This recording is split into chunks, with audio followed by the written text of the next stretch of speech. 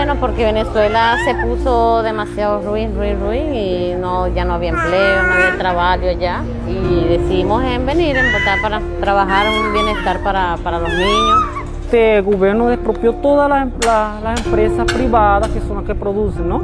Eh, bueno, por la situación económica, social, política, todo, la crisis en Venezuela, exacto. Só que o governo tirou tudo de mim, então pegou e não consegui ficar mais lá.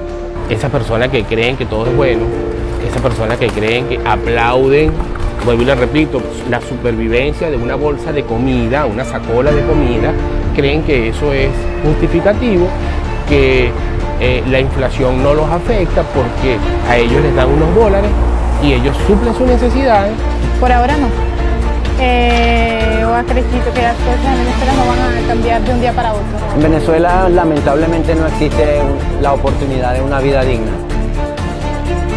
Cuando llegué aquí a, a, Brasil, a la- que llegamos a Pacaraima, que vi diferencia, nos dieron comida, nos atendieron, que ay, quería como comerme todo, cuando vi tantas cosas yo quería comer todo. Y yo, ay Señor, gracias, ya estoy bien.